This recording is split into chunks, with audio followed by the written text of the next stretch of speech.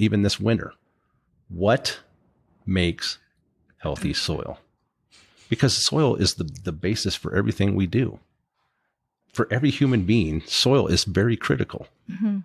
The, the stuff that we walk on, that we pave, is soil. And, and you only the, the sun. Think of it. Think of how much energy is in a square foot of sun hitting the earth.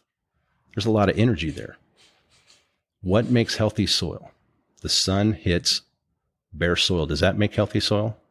No, it just bakes it. Destroys the Yeah. Yep. But Mhm. what makes healthy soil is plants. Mhm. Plants make healthy soil. Who, who would have thought of that? That's amazing. Plants make healthy soil. So when you realize that that